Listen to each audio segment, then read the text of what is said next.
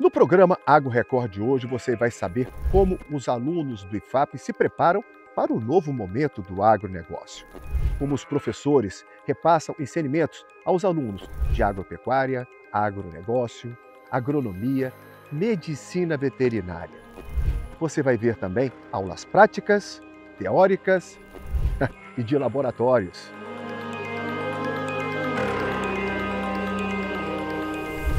E tudo isso, minha gente, a partir de agora.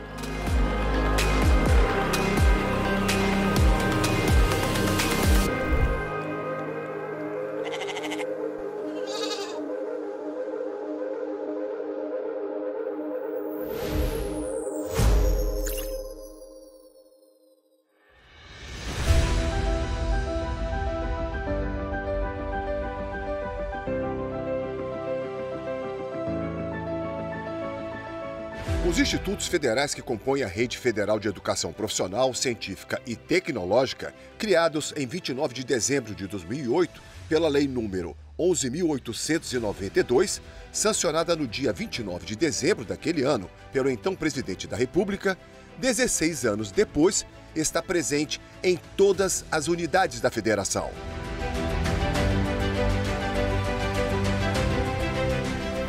Os IFAPs oferecem, por meio do ensino, da pesquisa e da extensão, uma formação humana integral a seus estudantes. Atualmente, o país conta com 600 campi, com quase 1 milhão e 500 mil estudantes e 10.422 cursos. A história do Instituto Federal do Amapá, o IFAP, começa em 25 de outubro de 2007, com a criação da Escola Técnica Federal do Amapá, em 29 de dezembro de 2008, a Lei 11.892, que institui a Rede Federal de Educação Profissional, Científica e Tecnológica, transforma a Escola Técnica em Instituto Federal de Educação, Ciência e Tecnologia do Amapá, o IFAP.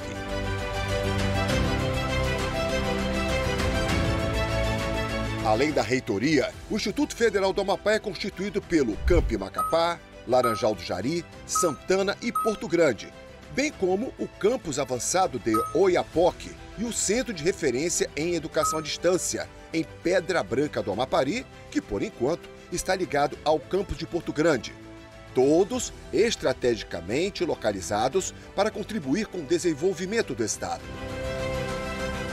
campus agrícola de Porto Grande iniciou suas atividades na sede definitiva em 6 de março de 2017 e hoje, com 645 alunos matriculados, oferece cursos técnicos de nível médio em agroecologia, administração, agropecuária e agronegócio, além dos cursos superiores, como bacharelado em engenharia agronômica e bacharelado em medicina veterinária. Bem-vindos ao Instituto Federal do Amapá, campus de Porto Grande. Ó, estou chegando aqui no setor de bovinocultura e bubaninocultura. Bem ali, ó, o professor Geraldo Baião está dando aula para os alunos do curso técnico de pecuária. Isso aqui é um encontro que eles fazem antes de começar a aula mesmo, propriamente dita, né? A gente não vai interromper agora. Mas muitos aqui são filhos de agricultores, outros optaram por gostar mesmo da terra, estou falando assim embaixo, que eu não quero atrapalhar a aula. Isso aqui é uma aula prática. Como vocês podem ver, quer ver essa aulinha aqui? Bem aqui, ó. Tudo criado, o manejo é feito por eles, pelos alunos, sobre a supervisão, com a supervisão do professor. Então, as aulas práticas acontecem aqui. Tá? Então, tudo que eles querem de aula prática, tudo que fica lá dentro da sala de aula, tá? a parte teórica, depois vem para cá. E daqui, muitos já até dão assessoria aos seus pais, parentes que tá, têm fazenda, né? que tem terreno, que tem uma horta, que tem uma criação. Muitos já dão até suporte, verdade. Porque o curso técnico prepara para isso. Né? E muitos deles têm muitos sonhos. Né? Vou ver se o professor pode e atender? Bora ver? Vem comigo. Mas, né, tem que retirar. Vou atrapalhar a aula do professor. Não, mas eu adoro ver essa galera trabalhando com agro, rapaz. Gente jovem, É. que maravilha. Professor Geraldo Baião. Me perdoe, professor, ter interrompido a sua aula. Que isso, fica à vontade. Geraldo Baião é professor de zootecnia do Instituto Federal do Amapá e que comanda essa galera aqui nas aulas práticas, que eu já falei para ele, aqui ó, tudo criado por eles com a sua supervisão? Essa aula é Isso. muito importante, né? Sem dúvida, sem dúvida, né? O que que os alunos na sala é uma teoria. O que que eles aprendem aqui? Aqui é muito importante para eles verem na prática o que a gente ensina na teoria na sala de aula, porque eles vão poder vivenciar né, as, as, a, a- e aplicar né, tudo aquilo que a gente está ensinando para eles, né, para eles poderem ver, é, verem, né, para eles poderem observarem, né, aprenderem o manejo dos animais, a forma correta de alimentar esses animais.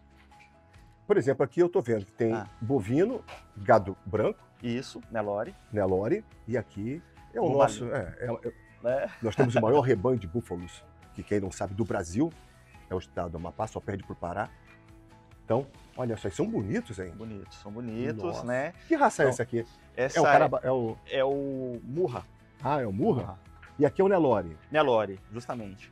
Eles aprendem a identificar também isso aí? Sim, sem dúvida, né? A gente apresenta para eles ah, no início do curso, né, quais são as raças de bubalinos, as raças de bovinos, né, a aptidão desses animais, se é gado de leite, gado de corte, bovinocultura leiteira, bovinocultura de corte. Olha, professor, posso- eu posso chamar de Geraldo? Pode, fica à vontade. Geraldo, é, é, eu tenho uma dúvida. Eu não sei se é a dúvida deles também, mas eu tenho certeza que você está em casa também tem essa dúvida, né?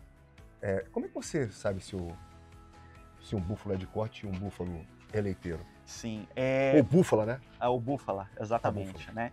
É, vai depender, né, da aptidão daquele animal, né? De repente, o animal tem algumas é, algumas raças, né, desses animais que eles são mais têm mais aptidão tanto para leiteiro e outros tanto para corte. Então, por exemplo, você vai falar de uma da da Mediterrâneo, é um, é um, é um animal que já, já um mubalino que já tem já foi melhorado, né, Uhum. para com foco na produção leiteira. Já o, por exemplo, carabau, já é um animal além de corte, tam- também pode servir para monta, por exemplo, né? Ou para é um animal mais robusto, que Ah, serve sim. inclusive para né, para puxar carga, A polícia do Pará parece que tem lá no, é na Ilha do Marajó que eles usam o para monta. É para monta. Qual é? O carabau? É, eu não tenho certeza se é o carabau, né? Não, não tenho certeza. né? Mas Tem lá, né? tem, tem lá, sim. eu já sim. vi. É, Eu já vi. É. É muito interessante isso. muito, muito. Muito- é, né? Agora, eu vi também, inclusive, saiu há pouco tempo na praia de Copacabana um búfalo. é mesmo, Na, é, na, só. na praia de Copacabana. É, pessoal, vocês eu acho que já viram isso aí na, na reportagem da Record. Um búfalo passeando nas areias da praia de Copacabana. Pode, né? Pode, né? Pode. Aí se eu perguntar para eles aqui no caso, se eles sabem, se eles sabem identificar é, é, um Nelore de um Zebu. Eu, eu tô falando besteira ou não? O Nelore, Porque, rapaz, eu não entendo nada. Eu só sei de comer carne bovina. Mas tem diferença. sim. Eu não vejo diferença nenhuma, acredito. Quando eu vejo um boi que tem chifre, eu falei, é boi. Então, pra mim, não tem, não tem, tem diferença? Tem. O Nelore, Que é esse aqui. Isso, justamente.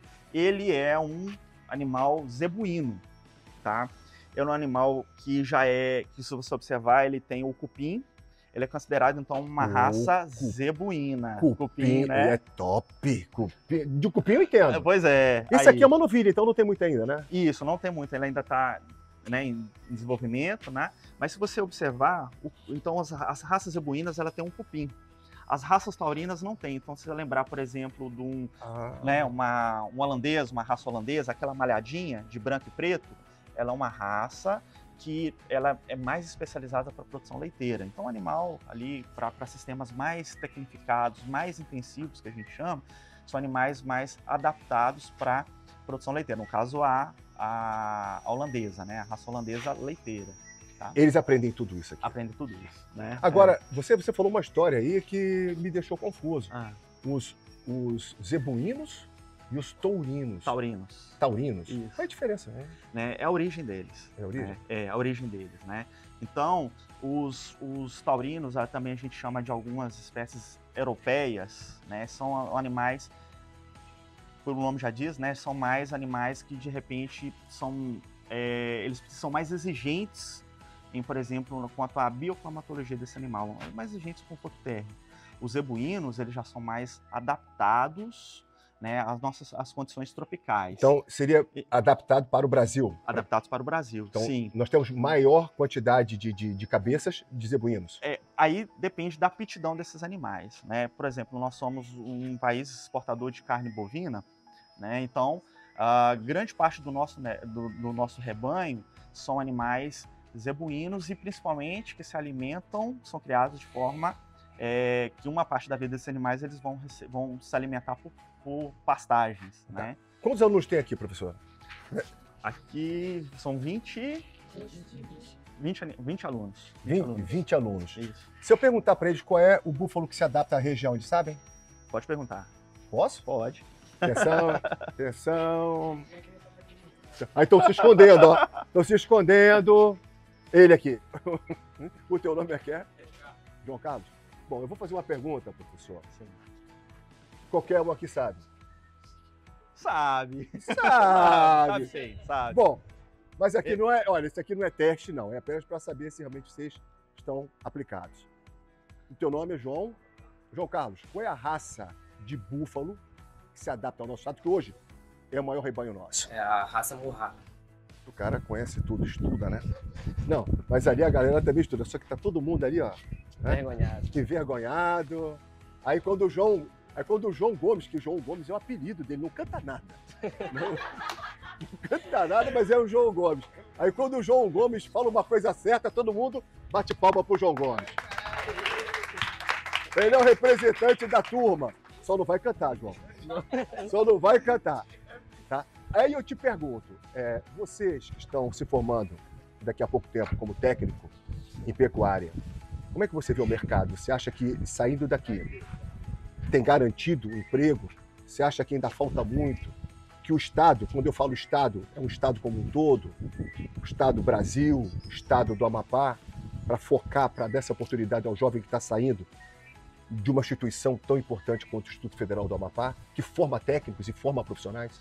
É, eu, eu, pelo vejo aqui, pela, com o Brasil, né, com, é, uma grande área de produção, né, o Brasil é um dos quinto países do mundo em área de, de território, então gente tem muito muita área de campo, em área de agropecuária para se atuar. O nosso no, agro é forte, né? É, muito forte. E na questão daqui do técnico do Amapá, assim, muitos produtores às vezes precisam de um auxílio de um técnico. Sim, claro. Porque não tem, assim, orientação, às vezes é passado por família, né? Aquela questão, ah, meu pai fazia, meu avô fazia e não sabe a maneira técnica. Aquela coisa caseira, doméstica, é, né? Isso mesmo. Então, o nosso papel técnico é de fazer passar a informação correta para o agricultor. Precisa. Precisa. Com dados. Né? Com dados e, e, afirmações precisas, né? Sempre atualizando. É, porque você ter um pai que trabalhe com isso é bom. É bom de como é. o seu pai trabalha. Trabalho. E a sua família. Como é que você vê a diferença, como ele vê e você vê o negócio, por exemplo? Ele vê a propriedade de uma forma. E como é que você vê como técnico? A pessoalmente eu tenho vários atritos assim com meu pai, né? eu perguntei porque com certeza tem, né? Porque ele, ele vê de uma forma aquela coisa que ele diferente, criava é. diferente. É. Pai, não é por aí. É, tem pai. treta? Tem treta.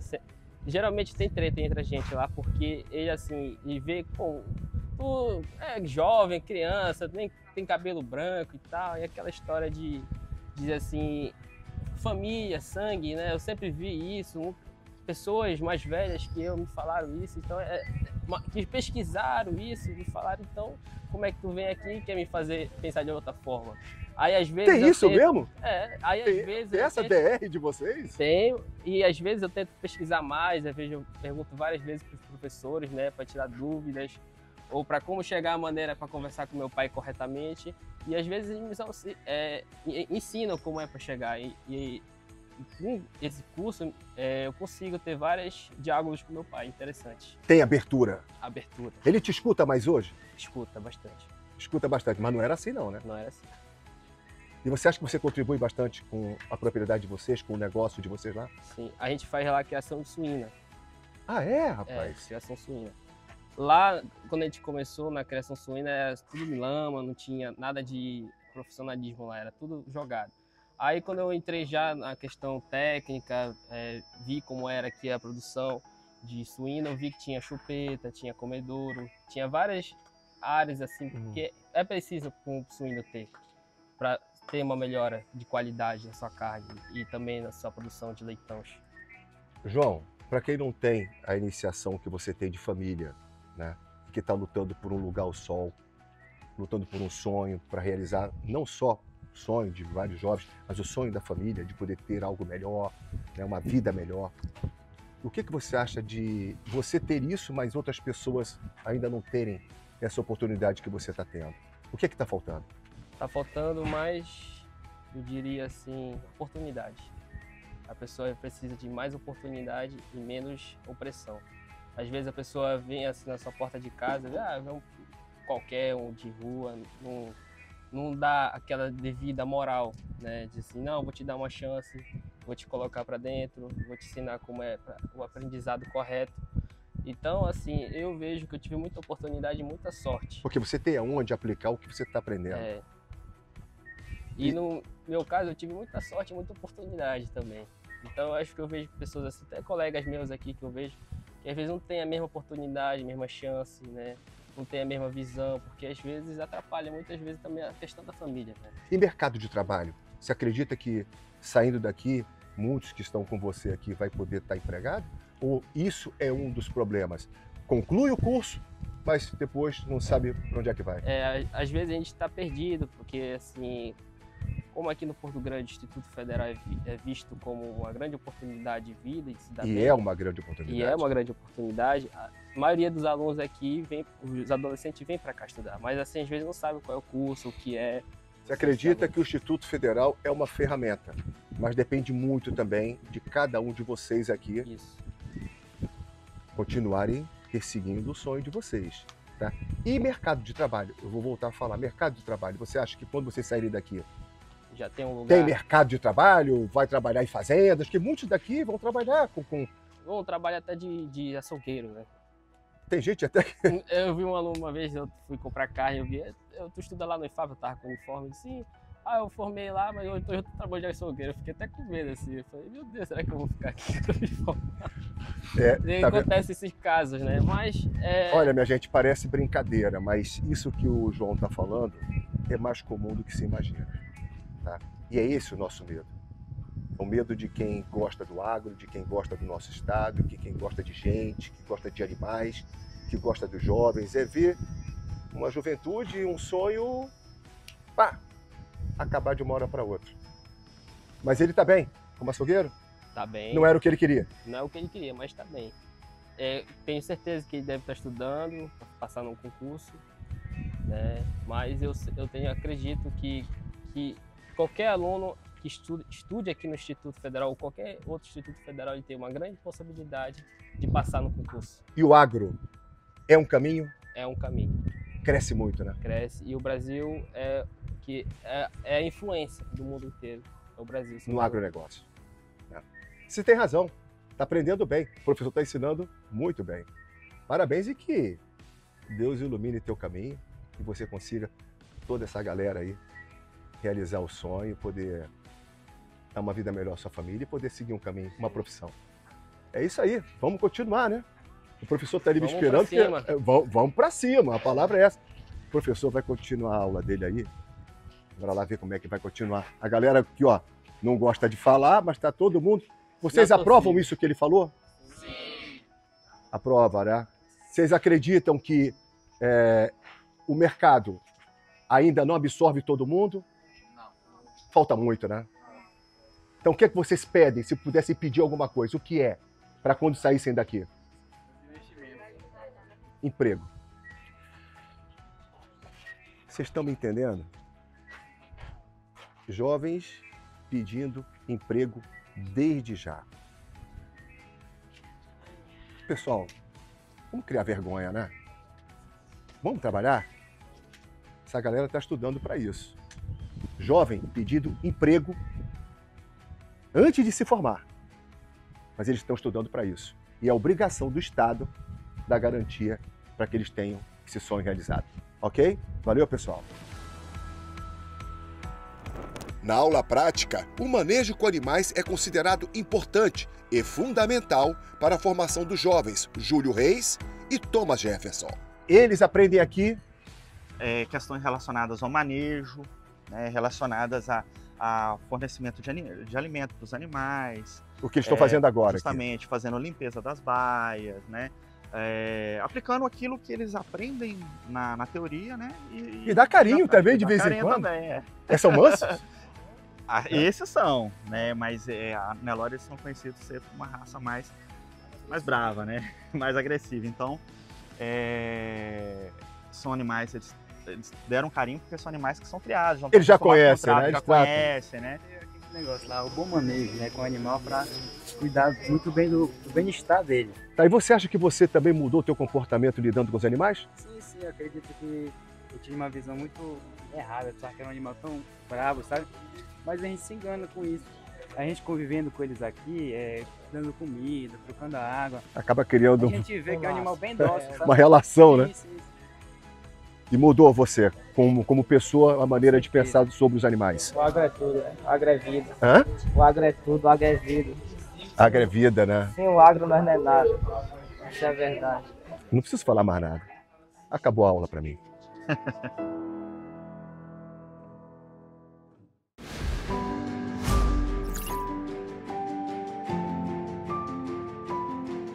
Após participar uma aula com os alunos do curso técnico de agropecuária, chegou a vez de conhecer um pouco sobre o mais novo curso superior da grade curricular do IFAP, que está atraindo muitos jovens para o campus de Porto Grande, o curso de Medicina Veterinária. Bom, eu vou pegar a carona, porque elas vão agora entrar na aula de anatomia.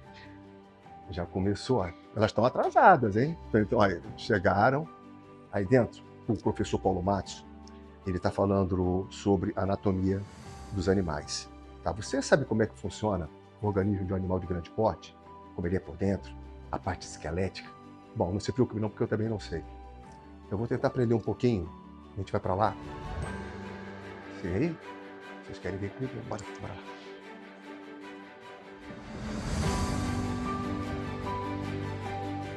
Olá, pessoal. Professor, não estou atrapalhando, não. Tá atrapalhando, não. Pode entrar, fica à vontade. Meu Bem... Deus. Que animal é esse, professor? Tem um esqueleto de um equino aqui, de um cavalo. Quase completo é um esqueleto de um cavalo.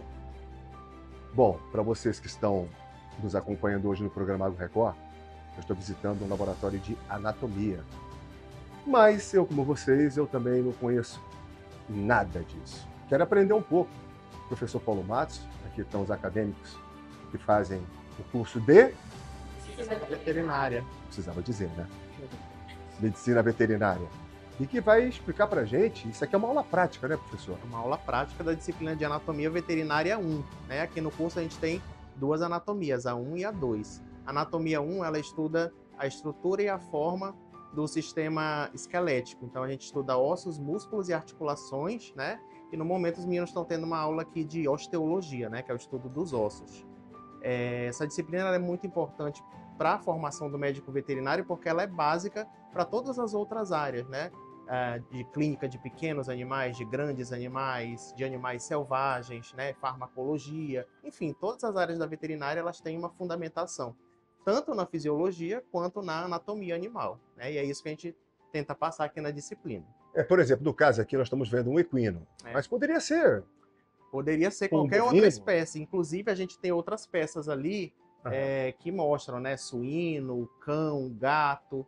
A gente costuma estudar uma anatomia padrão, mas eu sempre falo para eles, quando a gente tem uma diferença numa determinada espécie, a gente sempre vai estar tá enfatizando, né? Como a gente sempre fala, ah, esse daqui a gente está vendo uma escápula de um equino mas no ruminante é dessa forma, né? Tem uma estrutura que é diferente nos ruminantes e no carnívoro. Então, a gente uhum. trabalha, a gente estuda, na verdade, a anatomia, a medicina veterinária ela é embasada na anatomia dos animais domésticos, na anatomia e fisiologia dos animais domésticos, né?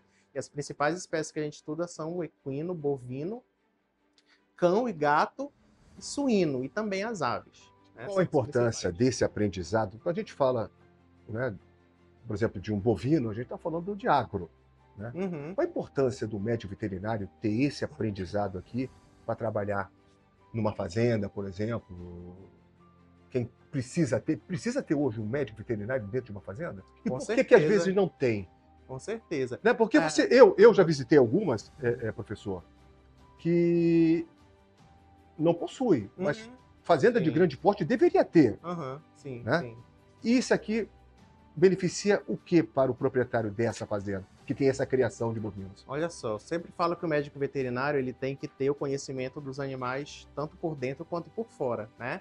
Então a gente, quando vai fazer o atendimento de um animal, a gente tem aquelas informações que o animal apresenta, o que a gente visualiza, mas a gente também tem que saber compreender o que está acontecendo por dentro, né? A gente às vezes usa exames complementares que auxiliam a gente e para analisar esses exames a gente tem que entender a anatomia do animal, né? A fisiologia também. Então, não tem como ser médico veterinário, não tem como ser clínico veterinário se você não souber a estrutura e o funcionamento do organismo animal, né? Em relação aos animais de produção, que você comentou também, é muito importante, né? Ah, os animais de produção, além de ter uma importância sanitária, tem uma importância econômica também para essas espécies animais. E, e o médico veterinário ele é fundamental nesse sentido, né, para evitar essas perdas econômicas, né, para aumentar, obviamente, a lucratividade da produção. E nem sempre tem a presença de um médico veterinário. Na maioria das vezes é por uma falta de, de orientação, né? Inclusive a gente tem algumas disciplinas ao longo do curso, como por exemplo a disciplina de extensão rural, que às vezes o produtor rural ele não tem o conhecimento de que ele precisa de, um, de uma orientação de um zootecnista, de um médico veterinário, para ele melhorar a sua É produtividade e a saúde do animal, né? E, e às vezes ele acaba fazendo por conta própria, acaba tendo prejuízos por conta disso, né? Mas a importância do, do veterinário é crucial. É, o senhor falou uma, uma coisa interessante, porque eu já visitei várias propriedades, várias fazendas, e o que eu vi não são essas de grande produção, não estou falando de grande porte. Tem Uhum. fazenda de grande Uhum. porte né, que ultrapassam é, esse amadorismo. né? Tem que ser profissional, porque senão não vende a Uhum. carne que Exatamente. eles produzem. Mas eu conheci fazendas que o dono, ah, meu pai era fazendeiro, ah, eu conheço isso aí brincando, eu nasci vendo o boi nascendo. Ei, isso é conversa fiada, vamos dar comida desse jeito. Uhum. Ah, ele tá andando desse jeito, mas ele não, não tem defeito nenhum, não tem problema de, de nada. Uhum. O meu boi é saudável. Eu não preciso de médico, não. Tá totalmente equivocado. O Exatamente. mundo de hoje não atura mais isso, né? Exatamente. E, e vai muito daquilo de pensar que como você teve o contato, como você teve a vida toda contato com aquilo, você é suficiente para entender daquilo. E a gente sabe que não é, né? Então é muito importante assim um acompanhamento técnico, né? Uma coisa que eu gosto de falar também é a importância dos profissionais que a gente também forma aqui no instituto, dos técnicos em agropecuária, em agroecologia, porque são profissionais que eles também orientam o produtor a é, procurar, né? Essa orientação técnica de um médico veterinário, dependendo do que for, né? De um médico veterinário, de um zootecnista, é, de, um, de um engenheiro agrônomo que também auxilia na parte de alimentação animal. Uhum. Então, também é muito importante isso. Tem um- uma, uma situação tá, que a gente tem que colocar aqui, porque essa é a primeira turma. Hum. Não temos ainda médicos veterinários formados no estado. Ainda não. Não. Vamos ter, graças a Deus, tá aqui, ó. Essa galera jovem, bonita. E a gente tem fé que todos vão estar bem empregados, ganhando dinheiro demais. A gente torce por isso.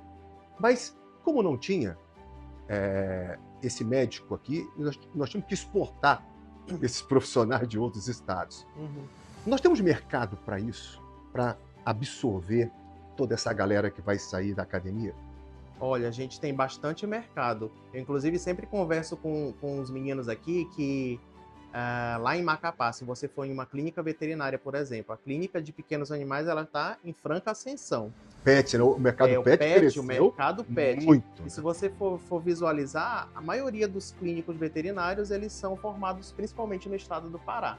E quem é, é amapaense se formou lá no Pará, né? Então tem essa questão da carência de absorção de profissionais, porque não tem os profissionais aqui, mas quando tiverem esses profissionais, eles vão ser absorvidos. Outra coisa, nós temos um perfil muito, muito bacana de alunos que têm vontade de empreender, de abrir suas próprias clínicas. Inclusive, a gente não tem clínicas veterinárias no município de Porto Grande, de Ferreira Gomes, e tem discentes que têm esse interesse, né, de de, de, de trazer, ofertar esse serviço numa área que ainda que a gente ainda não tem. Né? Em relação à produção animal, também está em franca ascensão, né?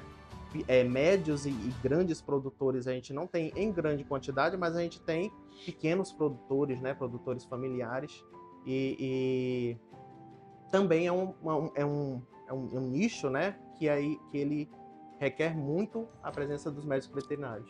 Paulo, você como professor, por exemplo, eu estou vendo aqui, uhum. tá? eu, eu, eu, vou pegar um só para perguntar, tá? Como ela está mais próxima? Vem aqui, rapidinho. Uhum. Está mais próxima. Bora conversar. Bora? Teu nome? Lívia. Lívia. Lívia, eu vou perguntar primeiro para o professor, tá? Existe, por exemplo, como na medicina, existem a cardiologia, a pediatria, na veterinária tem a especialidade? Existem as especialidades também. Oncologia, que eu vou formular depois uma pergunta para ela. Com certeza, tem as especialidades. Inclusive, os alunos, os veterinários fazem uma pós-graduação, normalmente uma especialização, para conseguirem se aperfeiçoar numa determinada área da medicina veterinária. Você sabe qual é a área que você vai atuar? Então, como eu estou no primeiro semestre, ainda não tenho uma noção sobre é, todas as áreas. Eu não estagiei em todas as áreas. Eu tive a oportunidade de conhecer a clínica de pequenos e eu teve meu coração. Eu gosto pet, a área pet. Eu gosto, sim. Mas eu quero conhecer as outras áreas para saber onde eu quero seguir. Tem inspeção, é, como a minha tia também, ela é do Diagro e eu admiro muito ela. Essa área eu gosto também.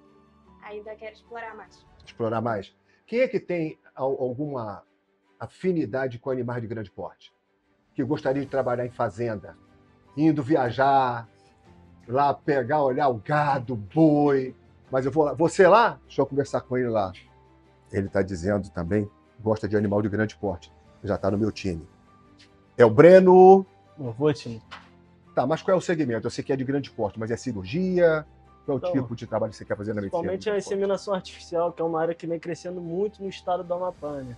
Principalmente em animais de grande porte, gado branco. Essa é uma área que eu tenho mais interesse. Por exemplo, se um fazendeiro quiser que você saia da sua casa e viaje três horas de carro numa estrada de terra de ramal, você vai embora, chegar lá, tem que tratar do boi dele. Você está disposto a fazer isso? Faz na hora, pego a chave do carro. na hora. Tá pagando? É. é bom? Mas sabia que tem gente que quer comodismo, acha que trabalhar na área rural é estar em casa no ar-condicionado? Ah, e não é, é né? Não o fazendeiro está lá, o boi está lá no pasto. É. Você está disposto a isso? Com certeza. É, a gente tem que ter esse trabalho para poder ser recompensado, né? Porque na área rural tem muito disso, da pessoa precisar se deslocar até a fazenda. é o que ocorre mais. É. E a veterinária raiz, é aí, isso aí. Tá nesse oportunidade no escritório, é estar tá no campo. Aí gostei, valeu, hum. gostei. Bom, mas parece que tem mais uma também que gosta de animal de grande porte. Olha quem é, a Giovana.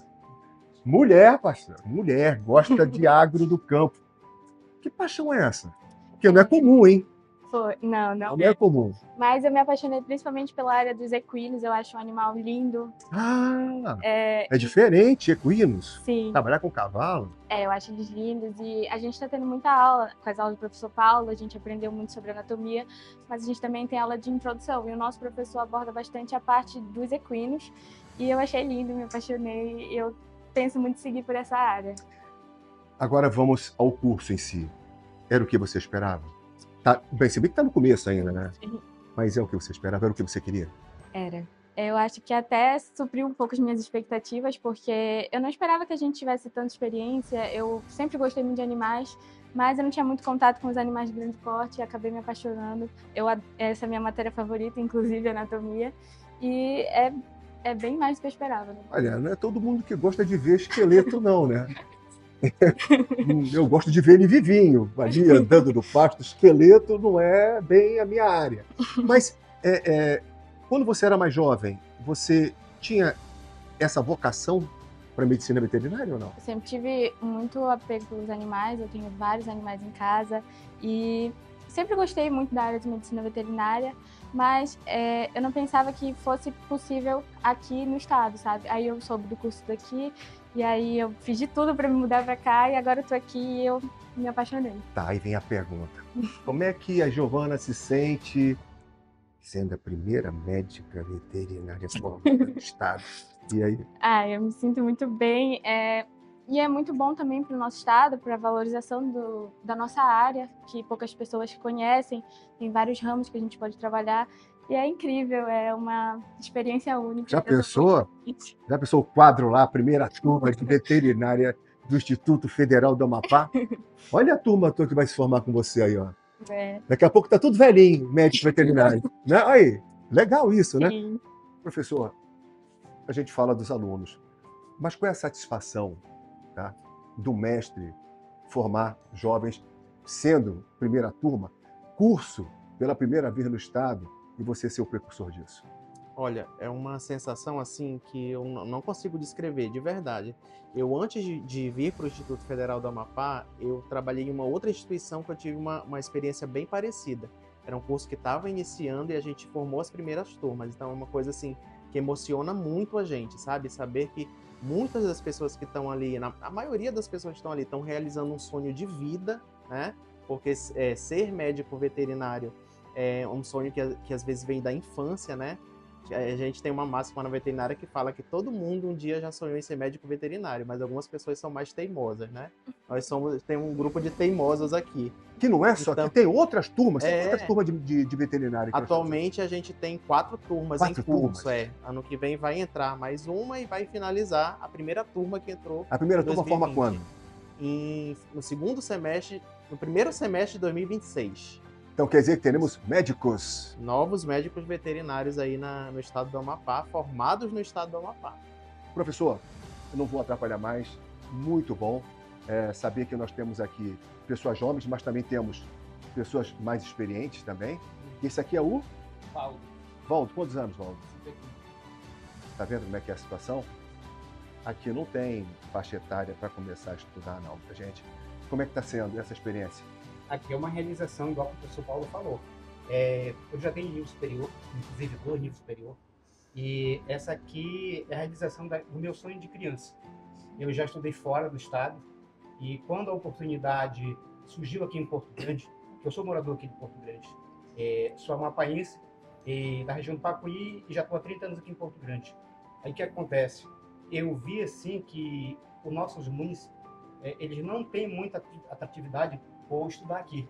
Essa turma aqui é que a gente já consegue ver o maior número. Então, poxa, quando bateu a oportunidade, mesmo depois de toda a minha idade, eu digo, não, eu vou encarar, porque deixar passar essa oportunidade aqui, na porta de casa, não pode. Então, por isso que eu estou realizando um sonho de criança. Adiei muito, pensei muito em entrar nessa área, mas como é um sonho a ser realizado, estou aqui. Sempre eu comento isso com o professor Paulo. É, é difícil, para minha idade, principalmente, Mas qual idade? O que, que é isso, rapaz? 51 anos, pô. Não, não, tá falando de idade. Não é idade. Você está conseguindo realizar um sonho? com certeza. Então, pronto, o seu sonho não tem idade, meu amigo. Parabéns por essa sua vontade. E tá aí, você tá muito bem acompanhado, hein? A, a galera é boa. Ah, com certeza. Vai atuar na área. Eu quero montar a primeira clínica aqui em Porto Grande. Você tá vendo só? Como eu disse que sonho não tem idade, a prova tá aí, minha gente. É só começar. Professor, muito obrigado, mas de antemão, acho que os atores principais estão aqui. Obrigado a vocês. A gente que agradece É, a gente vocês. quer agradecer demais a vocês essa, essa paradinha Uhum. do conhecimento para conversar com a gente.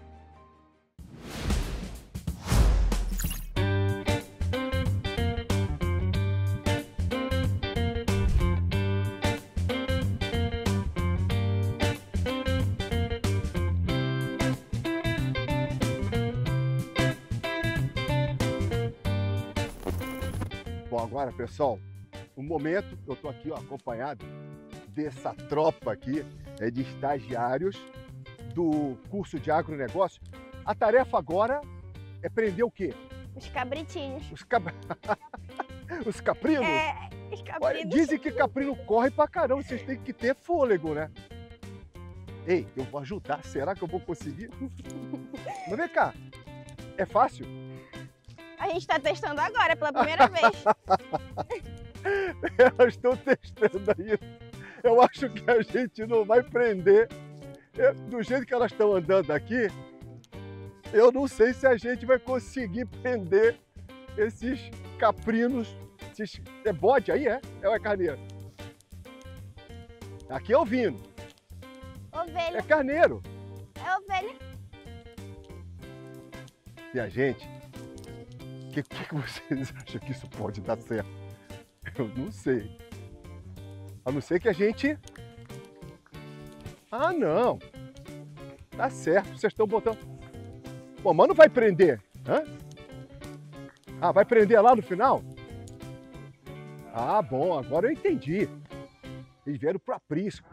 É aqui que fica. E vão ficar presos aqui? Sim. Ah, então foi fácil. Muito. Eu pensei que a gente ia correr atrás deles para agarrar o. Não, eles são obedientes. que bom Sim. que ele é obediente. Eles já sabem o caminho certinho. Certinho? Isso é todo dia que vocês fazem isso? Não, é. É de vez em quando, quando tem aula prática. É. É. Correr atrás de carneiro realmente ia ser um pouco difícil. Mas eles são ensinados. É, eles ajudaram a gente, ó. Sim. Aí eles ficam aí, o nome de ser aprisco mesmo, né? Isso. Olha só que maravilha. E ali, ali vai ter uma aula também. Agora vamos para uma outra aula. É o pessoal de agronomia, né? É, então vamos para lá agora de veterinária. É, veterinária que fica de agronomia. Pronto. Aí, ó, essa galera. Conseguimos. Eu... Mas eu jurava que a gente ia correr Eu também. No aprisco, nome dado ao abrigo para ovinos, as professoras Alessandra Belo e Flasita Costa repassam técnicas para detectar alguns tipos de doenças que afetam rebanhos de ovelhas e carneiros.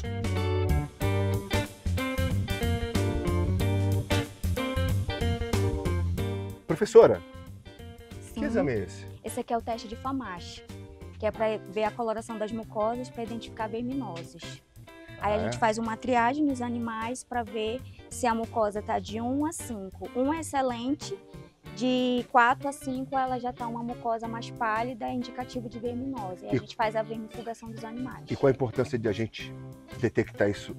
precocemente, É. que os animais é, têm, têm tendência a perder peso, não ter um bom desempenho produtivo, e aí pode até ter perda no rebanho por causa devido à morte dos animais. Que a É. verminose é bem agressiva. Seria uma das causas maiores que esses animais têm ou Sim. existem outras doenças? Essa que é a principal causa de morte de pequenos ruminantes no, no estado é, do Pará. Do Pará e do Amapá, principalmente região norte. Porque aqui é um clima muito úmido, então esse verme ele consegue sobreviver muito tempo. É, qual é o, o tempo de vida de um, de um ovino desse, de um, no caso de um carneiro, o tempo de, de- que ele vive? Ele vive em média uns, assim, 15 anos. 15 anos? Se deixar. Mas com, a partir de 13 anos ele começa a ter perda dentária. Ah, e é? perdendo os dentes, ele, não, ele compromete a alimentação dele. Então é um animal que a gente já tem que descartar do rebanho. Qual o maior cuidado que temos que ter com esse tipo de animal? Principalmente a questão da- das verminoses e a alimentação deles também. Aqui a gente tem muito cuidado com a parte da alimentação. O que a gente vê, por exemplo, cavalos, cavalo árabe, manga larga, eh, tem, eh, tem os, os bovinos, os taurinos, eh, Nelore. eh, Carneiro tem raça? Tem, tem sim. Qual é a raça do carneiro? Tem várias. Predominante aqui no nosso Aqui estado? no nosso estado, aqui se adaptou muito bem a raça santinês. Santinês? Santinês. Esse é santinês, não? É, a maioria deles tem sangue santinês, mas tem outras raças também é, misturadas. O santinês, ele é uma, uma raça que não é lanada, então por isso que ele se adaptou bem ao nosso clima. É, porque todo mundo quando vê, até aqueles carneirinhos que a gente chega do Todo sonho, amado. né? Que fica pulando carneirinho, todos eles são bonitinhos, parece até um travesseirozinho. Pra cá não rola esse tipo de carneiro. Não, causa do é clima. por causa do clima. Eles não conseguem se adaptar ao nosso clima, é muito quente e úmido. Mas se eu quiser ter e fazer a tosquiada dele, tirar, eu posso ter um carneiro desse aqui? Até poderia, mas isso daria Não é trabalho, adequado. daria muito trabalho. Eles também são muito sensíveis à verminose. O santinês, ele é até um pouco mais resistente. Ah, resistente. Um pouco mais. Ele se Esse é um bem. santinês. É, É manso? É, eles, eles são, todos eles tendem a ser bem mansos. Nossa, tem mas- santinês, tem dope, a zootecnista é especialista nessa parte de raças, ela pode falar melhor aqui da seleção genética dos animais. Essa aqui é a professora Falazita, ela é professora de zootecnia, vai falar um pouco pra gente sobre raças, né? Predominante. Aqui para o Amapá Santinês. é o santinês. Santinês, que é uma raça mais adaptada devido à pelagem, né? Como vocês vê- podem ver, é uma, uma pele liso. E como o senhor tinha dito, né? é, raças muito lanhosas é prejudicial devido ao clima, que é quente e úmido aqui. no estado. Aqui nós temos também o Dorper, que é uma Ah. raça também bem adaptada para essa região. Ué, esse aqui é o? É o macho, é o nosso reprodutor. Mas qual é a raça? Dorper. Ué, você falou que, que não é lanada. É, lanada, pessoal? Não, ele, não ele- quando ele nasceu, ele era lisinho. Eu acho que devido a... a- Aí ele criou é, essa lã. é, Mas ele não é assim? Não, ele, ele... Quando ele nasceu, ele era... Cadê? Ué, porque eu tô Assim, vendo... ó. Assim, ó. Quando, Ele quando ele nasceu, ele era desse jeito, assim. Ah, cá. Assim, bem lisinho. bem lisinho. Aí depois vai... Aí ficou mais velho? tempo, o pelágio vai mudando. Aí, vai, ficou assim? Vai ficando assim. Ué, aí tem que tirar porque faz A calor? gente faz é, o tosquia de vez em quando, né? Porque fica duro, aí o animal É porque eu vejo que de vez em quando É, cresce isso cresce. aqui. Né? Aí, ó. Ó, aí a gente tem, quando a gente tem um manejo diário aqui, desculpa, mensal, a gente faz tosquia e, como é que diz o nome? É cascamento. Porque eu pensei que o Santo Inês não tinha essa lã de jeito nenhum. Porque é misturado. No caso, a mãe Ah, deles aqui, bom. a mãe deles aqui é santinês com ele lá, que é o dom. Ah, então você Misturou, é é- o culpado de A gente tudo. chama mestiço, né? Esse aqui é o que é o reprodutor daqui. Reprodutor. Eles que são o pai dessa galera toda aqui. O cuidado que tem que ter, por exemplo, eu já falei com a, é, com a professora, ela falou os cuidados, beleza, mas e a alimentação? A alimentação é basicamente a base de capim-elefante, o senhor pode ver. Olha, ali, pessoal, aqui, aqui vocês têm de tudo, né? Graças a Deus. Isso aqui, ele tem aqui um, É, a gente Olha. tem nosso capim-elefante, a nossa pastagem de restaurante ali, ó. É. Esse é o- uma capineira que a gente oferece para o animal no coxo. A gente tritura o, o capim. Qual é o nome desse aqui? Capim-elefante. É o maior de lá ou é esse da frente? Tudo é capim-elefante. Ah, tudo é capim elefante? É, é por causa dos cortes. O de lá não foi cortado, esse aqui já foi, já está começando a chegar no ponto Olha, de... desculpe a minha pergunta, a minha ignorância. Não sei se a professora também pode nos ajudar, mas por que o capim-elefante? Eles podem comer outro tipo de. Pode. é- o é capim-elefante, como eu disse para o senhor, é um capim para corte, né? A gente é uma capineira que a gente chama. Então, como no período é, anual ele é um capim que pode ir de janeiro a dezembro, a gente vai cuida dele porque de junho a dezembro é o período seco. Então ele ajuda muita gente nesse período seco na alimentação do animal para que não falte alimentos. Nós fizemos um programa, você lembra? Eu fiz um programa sobre ovinocultura. E que a gente estava falando sobre não termos esse segmento é, em grande escala aqui no nosso Amapá. Aí eu vou perguntar aqui para a professora se, no caso, por exemplo, a criação de ovino é favorável para o nosso clima e para o nosso solo. Para algumas, a gente já tem algumas adaptações, alguns trabalhos né, na área técnica, principalmente, que já proporciona essa criação mais vantajosa, né? Com essas, é, pegando um pouco essa questão dessas dificuldades que existem, Uhum. a gente já tem trabalhos com isso que já favorece essa criação, então já melhorou bastante aqui o manejo e a criação desses animais, alimentar, de solo, tudo aqui na área técnica a gente trabalha bastante com isso. Então já foi menos favorável, hoje já é mais, mais favorável. É rentável, né, professora?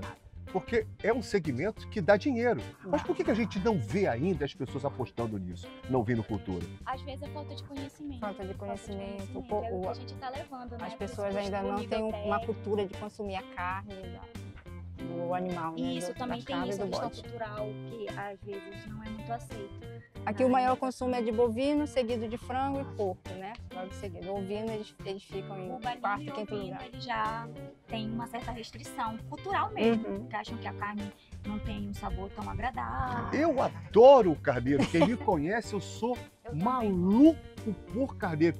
Nossa, eu dispenso qualquer carne por uma carne de carneiro. No sul também, fora do país também. E aqui nós temos clima favorável, solo, terreno é favorável, que é cerrado, pastagem. E a gente não vê isso. E o custo também de produção deles não é tão alto. É isso que eu queria te perguntar. Não tem ração, né? Tem ração? Ele come ração? Tem, tem. Mas a predominância mesmo é capim. A doença, como você falou, não é A gente consegue controlar. controlar. É as duas principais doenças é verme e casco. Aqui a gente consegue controlar os dois fazendo esse manejo diariamente. Isso. Então o que falta, professor, é conhecimento e vontade também, vontade política, porque se alguém abrisse as porteiras para que isso pudesse se desenvolver no Estado, automaticamente eu acho que isso já teria acontecido, né? O que falta um pouco também é um pouco de, de incentivo. Isso é claro. Aí conhecimento, eu acho que é o mais importante. E aqui, por exemplo, vocês é, é, conseguem doar matrizes? Como é que vocês fazem aqui? O... Leilão Ah, também? é, a gente faz o leilão. Leilão. Esse ano não teve o leilão porque a nossa produção está um pouquinho e como nossos alunos precisam de aulas práticas, a gente mantém o rebanho, né? Não, não tem um excedente tão grande que a gente possa poderia ter leiloado hoje no caso. É, quando há excedente, a gente É. faz Todo aluno de medicina veterinária tem que passar por essa cadeira de Tem. ovinocultura e caprinocultura? Tem que passar. tem que passar. Eles gostam dessa, Ah, eles dessa matéria? demais. Esse daqui também. Você prefere lidar com caprino ou com um animal de grande porte? Bom, eu, eu gosto de lidar com os caprinos, está dentro da nossa prática, né? Mas também é muito amplo a questão do- de grandes, tem os equinos. No geral, eu gosto do- dos ruminantes. Tá, mas é mais fácil lidar com ele, aqui no caso? Sim, a contenção ela fica mais fácil, porque como podemos observar, nós podemos conter com o nosso corpo. E quando se trata né, de bovino, já tem uma dificuldade maior, mas nada que a gente não consiga lidar. É porque eu tava vendo, imagine ela lidando com um búfalo. Sim, sim. No, né? Sim. Você com um búfalo, você prefere ele. Né? Eu posso pegar ele, hein? Pode. Ele não é brabo, não? É uma Ei, fêmea. É uma fêmea? Ah, então, vamos aqui. Ele Olha só, rapaz. Tem nome? Aqui eles têm Não, nome? a gente usa a É numeração numeração? por brinco, eu acho que está um pouco apagado. Ah, tá. Que é Então, e- então ela vai ter nome agora, é a Shakira. Shakira? Pronto, Que Shakira. ela é bonita, rapaz. Olha os cascos. Ah, peraí, meu amor. Calma. Olha só os cascos dela com unha pintada. Olha aqui. Bonita. Quantos anos ela tem? Ela nasceu, deixa eu ver aqui, porque eu, eu identifico pelo brinco. Ah, é pelo brinco? 2105. O que Ela que é nasceu no ano 2021, ah, foi a quinta, o quinto nascimento da fazenda. Nesse ano de 2021. Para vocês, quem trabalha, quem trabalha com abate, qual é o peso ideal para você abater um animal? Acho que uns 30 quilos. Uns 30 quilos já tá. 30 quilos? Isso. É porque parece que o, o, o- suíno, ele parece que. Calma. Ah, é, A gente é faz a- 60 quilos, é um leitão, né? É. De- Aqui é um- 30 quilos. um leil- Qual é um o peso ideal para você dizer, tá gorda, tá bonita? Qual A peso? gente avalia muito pelo score, o score é, avaliando o score corporal dela, que o, o- diz muito se o animal está bem nutrido, que é através do score. Né? O- se o animal tiver uma pesagem muito elevada e o score não for adequado, aí a gente já, já diz que esse animal não está saudável. O que, que ela tá fazendo lá agora lá? Ela tá fazendo a auscultação do coração. Natalino Reis falou sobre a importância do Instituto Federal do Amapá na formação de futuros profissionais que, em muito breve, vão estar contribuindo com o desenvolvimento do agronegócio no estado. O, o IFAP é, ele está formando profissionais, formando profissionais, porque até bem pouco tempo é, todos os profissionais da área rural eles vinham de outros estados, do nosso vizinho, irmão estado do Pará. Nós, amapaenses, nós, nós íamos para outros estados em busca de formação, inclusive a formação de técnica agropecuária. E hoje, é, Porto Grande, o estado do Amapá, ele oferta esses cursos, oferta essa, essa, essa, essa educação é, aos filhos da terra, aos amapaenses. Tá? E além disso, é, aqui no Instituto são desenvolvidas é, pesquisas, tanto no âmbito da, da, da produção animal, como no âmbito da produção vegetal, é, através dos alunos, através dos nossos professores, através dos nossos técnicos. E essas pesquisas, elas se transformam depois em projetos de extensão também, que a gente consegue integrar é, tudo, todo, tudo que é produzido através do conhecimento científico na nossa área, é, nas comunidades, com os agricultores. No caso, os alunos que estão hoje eh, se formando, tem estágio, emprego garantido ou ainda isso está em estudo de, um, de uma parceria maior com empresas privadas ou algo do tipo? Isso. É, os- o- ainda não formamos a primeira, curso, a primeira turma de medicina veterinária, mas eh, no início desse ano eh, concluiu a primeira turma do curso de engenharia agronômica. Tá? Parte desses eh, profissionais já estão no mercado de trabalho. Ressaltamos, é importante sempre dizer que foi a primeira turma de engenheiros agrônomos formada no Amapá. aqui no Instituto Federal do Amapá, campus Porto Grande, e que além desses animais, desses é, profissionais que já estão enganjados no mercado de trabalho, nós temos também um, um, uma, uma turma que saiu para cursar pós-graduação fora do estado, né? é, dar continuidade no processo de ensino-aprendizado. Tá. O senhor, como professor, né, como incentivador né, desses alunos, como é que o senhor vê o futuro do agro no estado do Amapá? Eu acredito muito na agricultura, Sérgio. Porque primeiro que a, eu vim da agricultura, filho de agricultor, tá? Depois a minha vida foi profissional desde muito jovem foi é, transitando entre a agricultura e a educação. Eu posso dizer que o IFAP ele me proporciona isso, a, a viver o, o, os dois momentos, é, a, a minha, meus, meus, meus, dois momentos é da minha vida profissional, que é a agricultura e a educação, tá? E eu vejo que o, o IFAP está contribuindo muito com, com, essa, com, essa, com esse desenvolvimento do estado do Amapá.